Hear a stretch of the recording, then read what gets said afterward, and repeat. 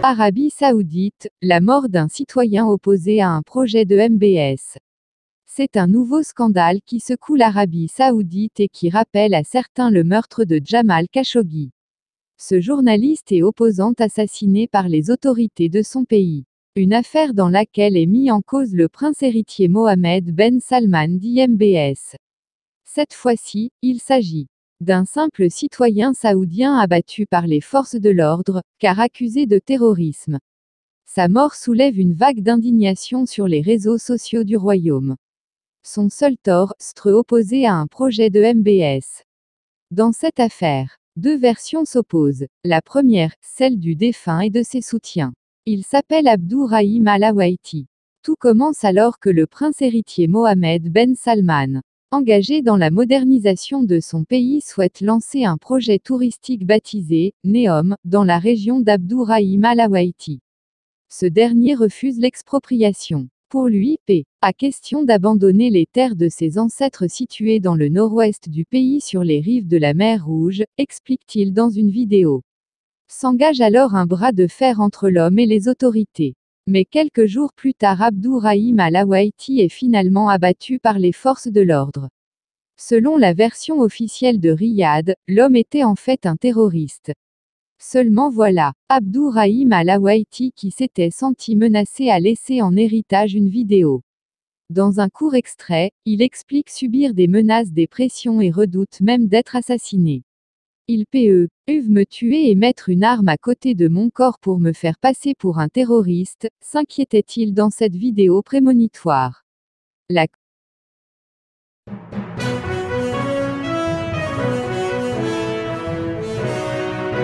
coalition dirigée par Riyad annonce un cessez-le-feu au Yémen.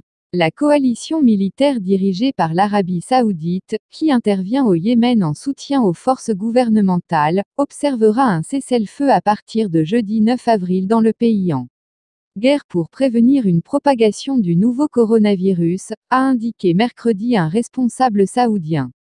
Nous annonçons un cessez-le-feu à partir de jeudi pour deux semaines. Nous nous attendons à ce que les rebelles outils s'acceptent. Nous préparons le terrain pour lutter contre la maladie du Covid-19 au Yémen, a déclaré un responsable saoudien. Selon lui, le cessez-le-feu unilatéral entré a en vigueur ce jeudi 9 avril à 9h GMT. Les rebelles outils soutenus par l'Iran n'ont pas réagi dans l'immédiat à cette offre.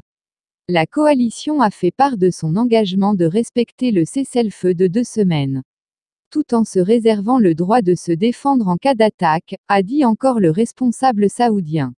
Le cessez-le-feu peut être prolongé si les Houthis répondent de manière positive aux gestes de la coalition. A-t-il ajouté, la guerre au Yémen oppose des adversaires locaux, soutenus par des puissances régionales rivales. Le gouvernement reconnu par la communauté internationale eux appuyé depuis 2015 par une coalition militaire menée par l'Arabie saoudite, se bat contre les Houthis. Confronté à la pire crise humanitaire au monde, le Yémen, pays le plus pauvre de la péninsula Rabique n'a enregistré jusqu'ici aucun cas d'infection à la maladie Covid-19. Mais les organisations humanitaires craignent une catastrophe si le pays était touché par le nouveau coronavirus. Avec un S. Système de santé exsangue et une pénurie d'eau potable, le Yémen a déjà été frappé par des épidémies comme la dengue ou le choléra.